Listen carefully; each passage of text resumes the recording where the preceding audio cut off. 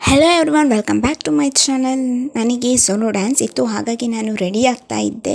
ಹೆಚ್ಚೇನು items ತಂದಿರಲಿಲ್ಲ. Two ಫಿಫ್ಟಿಗೆ ಒಂದು ಕಾಸ್ಟ್ಯೂಮನ್ನು purchase ಮಾಡಿದ್ದೆ. ಅದಾದಮೇಲೆ ಸ್ವಲ್ಪ ಮೇಕಪ್ ಮಾಡೋಣ ಅಂತ ಹೇಳಿ ಹೋದೆ. ಬಟ್ ಮೇಕಪ್ ಲಿಪ್ಸ್ಟಿಕ್ ಅಂತ ಹೇಳಿದರೆ ನನಗೆ ಅಷ್ಟಕ್ಕಷ್ಟೇ. ಹಾಗಾಗಿ ನಾನು ಜಸ್ಟ್ ಕ್ರೀಮ್ ಐಲೈನರ್ ಬೊಟ್ಟು ಹಾಕ್ಕೊಂಡು, ಕಿವಿದು ಹಾಕ್ಕೊಂಡು, ಸರ ಹಾಕ್ಕೊಂಡು, ಬಳೆ ಹಾಕ್ಕೊಂಡೆ.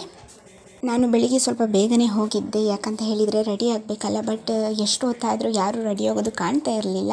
ಅದಾದಮೇಲೆ ಸಾಂಗ್ ಸ್ಟಾರ್ಟ್ ಆಯಿತು. ಅದಾದಮೇಲೆ ನಾನು ಹೋಗಿ ಕೇಳಿ ಬಂದೆ.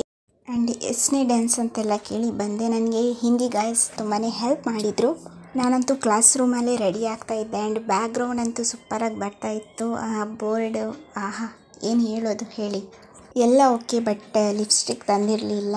ಹಾಗಾಗಿ ಲಿಪ್ಸ್ಟಿಕ್ ಹಾಕದೆ ಹೋದೆ. ಹಾಗಾಗಿ ತುಂಬ ಡಲ್ ಕಾಣ್ತಾ ಇದ್ದೆ ಅಂತ ಹೇಳಿ ಅನಿಸುತ್ತೆ. ಮ್ಯಾಮ್ ಕೂಡ ಹೇಳಿದರು, ಸ್ವಲ್ಪ ಇನ್ನೂ ಕೂಡ ಮೇಕಪ್ ಮಾಡಬಹುದಿತ್ತು ಎನ್ನುವ ರೀತಿಯಲ್ಲಿ. ಡ್ಯಾನ್ಸ್ ಚೆನ್ನಾಗಾಗಿತ್ತು ಅಂತ ಕೂಡ ಹೇಳಿದರು. ಆ್ಯಂಡ್ ನನಗೆ ಯಾವತ್ತು ಡ್ಯಾನ್ಸ್ ಮಾಡಿ ಬಂದ ಮೇಲೆ ಸ್ಯಾಟಿಸ್ಫೈ ಆಗೋದು ಅಂತಲೇ ಇಲ್ಲ. ಇನ್ನೂ ಸ್ವಲ್ಪ ಇಂಪ್ರೂವ್ ಮಾಡ್ಬೋದಿತ್ತು ಅಂತ ಹೇಳಿ ತುಂಬಾ ಕೊರಗ್ತೇನೆ. ಅದೊಂದು ನನ್ನ ಫಾಲ್ಟು ಅಥವಾ ಪ್ಲಸ್ ಪಾಯಿಂಟು ಏನಂತ ಹೇಳಿ ನನಗೆ ಗೊತ್ತಿಲ್ಲ.